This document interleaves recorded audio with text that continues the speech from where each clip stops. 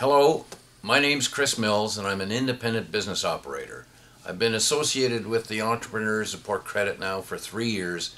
I've met dozens and dozens of capable people, all of which are in very responsibly doing very well in their own businesses.